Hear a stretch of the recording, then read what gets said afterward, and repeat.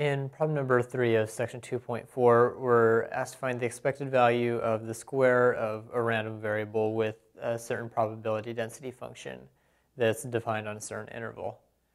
Now, remember that anytime we transform the uh, a random variable by another function and look at the expected value, so in other words, anytime we look at um, e of g of x, this is equal to um, the integral over the domain of the random variable x. So I'll write uh,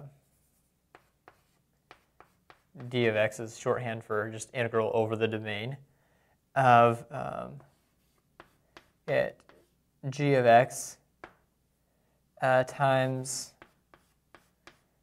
f of x. Um, and just to clarify, this is capital X, and these are lowercase x's, um, where f of x is the probability density function. So in this case, we're looking at um, e of x squared. So if we let uh, g of x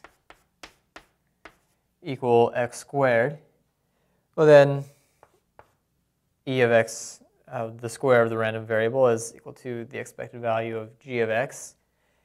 And our domain is negative 1 to 1. Is That's the domain of our random variable x. And would be x squared times uh, the probability density function, which is 3 quarters, which I'm going to pull outside the integral times 1 minus x squared dx.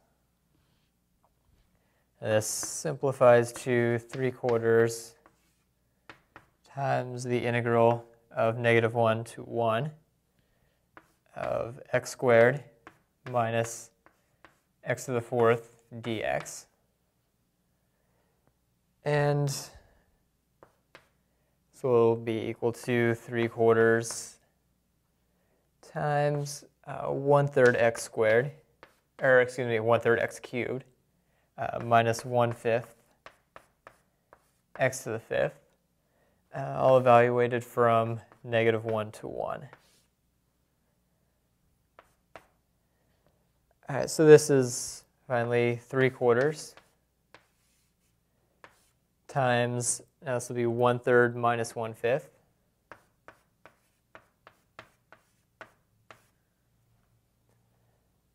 and and we'll have uh, minus uh, one third times negative one cubed, so minus one third, and subtract uh, one fifth times minus one to the fifth, so uh, we had an extra negative sign.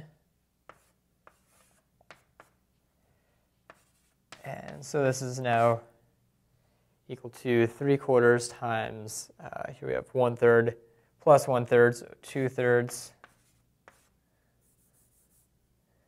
And negative 1 fifth, negative 1 fifth, or minus 2 fifths.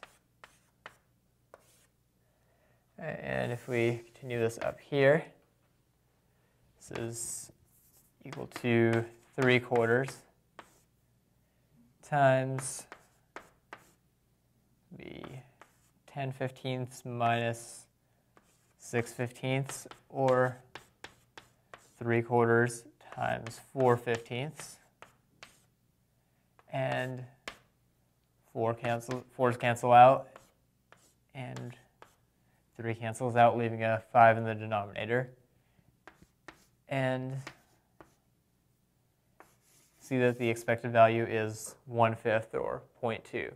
So if we, you know, so if a random variable has this probability density function, and we square it, and we want to know kind of what's the most likely value, or what, what do we expect to get, uh, the most likely value is actually one fifth.